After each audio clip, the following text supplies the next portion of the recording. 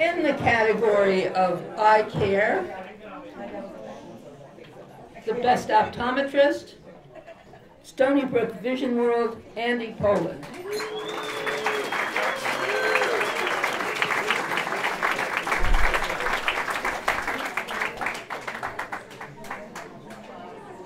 Oh, first off, I'd like to thank Leah Dunaief and the Times Beacon Record for hosting programs such as this and having businesses recognized throughout the community.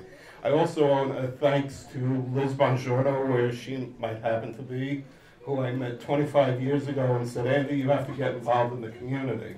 And Myra and Neil must have been hearing her because Myra and Neil insisted I get involved with the Three Village Chamber of Commerce where I spend much time with Leah and the rest of my board members.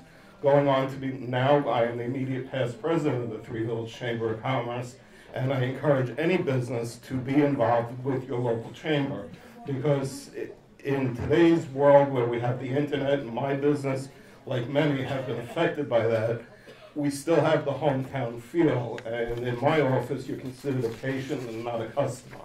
We take families into it, families' concerns and listen to them and learn who they are and what their needs are.